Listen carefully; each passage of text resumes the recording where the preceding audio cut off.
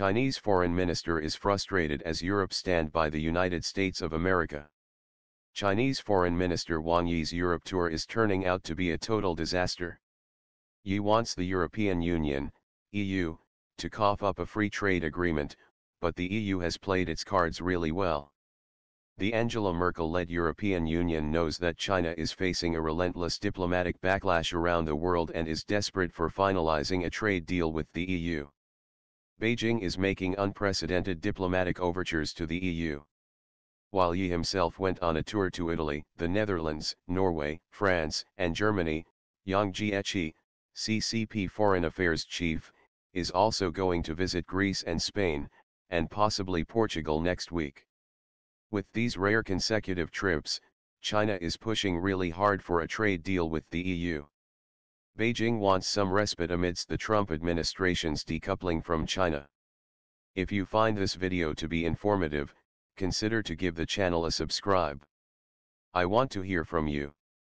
So leave a comment, like and share. Beijing's failure to secure a free trade agreement from the EU has been a long-standing issue between the EU and China. The EU has free trade agreements with over 70 countries in the world. Last year, it signed an FTA with Japan. The EU also concluded a free trade and investment protection deal with Vietnam in June and is now looking to finalize an FTA with India. But whenever China tries to discuss an FTA with the EU, the latter develops cold feet about it. EU-China trade talks have hit a deadlock of sorts.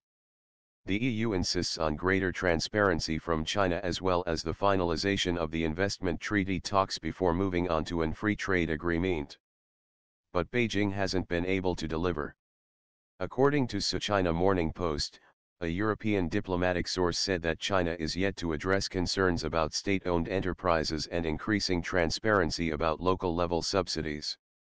However, no EU country except Germany is ready to go ahead with a free trade agreement, FTA, unless China relents on these issues. An official EU website states, the EU is committed to open trading relations with China. However, the EU wants to ensure that China trades fairly, respects intellectual property rights and meets its obligations as a member of the World Trade Organization. It describes strong government intervention, discriminatory industrial policies and other issues in the EU-China trade. Moreover, the EU keeps bringing up the issue of an investment treaty with Beijing and refuses to go ahead with a trade deal unless an investment treaty is concluded. The investment treaty has emerged as a test case for the EU-China bilateral relations.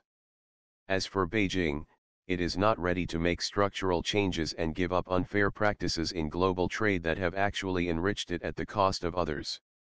Moreover, China doesn't really have the option of being large-hearted and making a big concession to the European Union because the US is also keeping a close eye from outside. According to Eurasia Group's China analyst Kelsey Broderick, if the US sees China making serious reform concessions to the EU, it might smell blood in the water and push even harder on reaching an agreement with Beijing. Broderick also feels, it would likely incentivize U.S. actors to push China hard on Phase 2 trade deal commitments. Now, China faces a catch-22 situation in the European Union, particularly because if a free trade agreement has to be signed then it has to be now when German Chancellor Merkel is in control of affairs. Once she is out of power, no leader in the European Union could bring together all the players on the board and sign the deal, because most of them don't want to sign the deal. Merkel is due to leave office next year. Germany currently holds the EU's rotating chairmanship, but Portugal will take over from January next year. Beijing therefore only has a few months to zero in on a free trade agreement with Brussels. China is therefore poised to face some tough time in Europe in the coming days. Chinese President Xi Jinping will take part in a virtual summit with European leaders on September 14. If Xi doesn't push investment talks during the summit, then the EU might fall to the American pressure on taking a tough anti-China line. Jörg Wuttke, EU Chamber of Commerce in China president said, President Xi has a lot of political capital at stake in the September summit. If the investment talks do not get a push at that time, it will be politically difficult for German Chancellor Angela Merkel to discuss China issues at the European Council meeting on September 25, particularly at a time when the US is putting enormous pressure on Europe to fall in line with its position. If Chinese Foreign Minister Wang Yi wanted to overcome concerns around global decoupling from China, then his Europe tour is fast proving to be a major diplomatic faux pas. Beijing believed that it had a trusted partner in Angela Merkel, but it seems that Beijing is going to lose its last hope as Europe tries to wring it dry. Thank you for watching the video.